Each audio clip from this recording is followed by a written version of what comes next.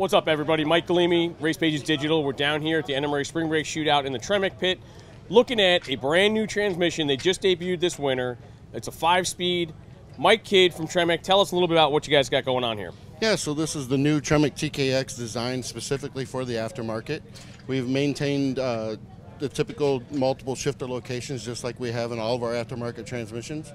The, the new and exciting thing though is, is that this transmission we can shift it at 7,500 RPM due to multi-cone synchronizers in there, right? So in, when you look at the older TKO transmission, which was a single blocker ring, this has a multi-cone synchronizer. We no longer have a five-speed that has a different rating of 500 and 600. This one is rated at 600 pounds specifically, no difference. Uh, regardless of the gear ratio. So we still offer seven different gear ratios, three for Ford, four for GM the shifter is very unique because it comes with a shifter, but this is reversible depending on what application you're using this for. That's correct. So the, the shift it'll come with this shifter base, which can actually be turned around 180 degrees so that you can move yourself three inches further forward.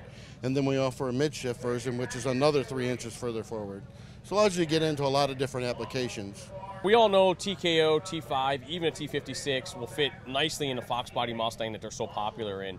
But this is built thinner for a lot of other applications as well, isn't it? One of the things that we did is if you look at a lot of our aftermarket transmissions that we have here in the booth, a lot of them are an end-loaded design, which allowed us by by end-loading it. That means we build it standing on its nose. By doing that, we have a more ergonomical shape right? So now we can fit this thing into a lot of different applications without any floor modifications. Guys that were, you know, that were putting in the old top load five speeds or four speeds, they actually had to cut their tunnel to make it fit. With this one, smaller, fits in there. We don't have to make any floor tunnel uh, modifications. If an enthusiast has a, a current Tremec transmission, say a, a, TKO, and they've got an SFI bell housing, can they transfer that bell housing to this transmission without any problems. Yeah, so this transmission has the exact same mounting uh, dimensions as a TKO. So you can actually remove a TKO and put this in there. It has the same the same clutch uh, mounting face. It has the same rear uh, transmission mount face. It still uses a electronic speedometer or mechanical speedometer. Both options are available in the transmission.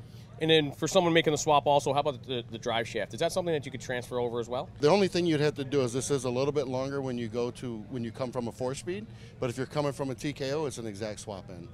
And it uses a 31 spline output shaft makes it quick and easy, especially with the popular Coyote swaps these days. High That's RPM. True. Yes. Able to, to keep a lot of all the other parts and pieces to it and make, make it easy for a guy to switch over. Do you guys have these available for consumers today? They've been in production since December.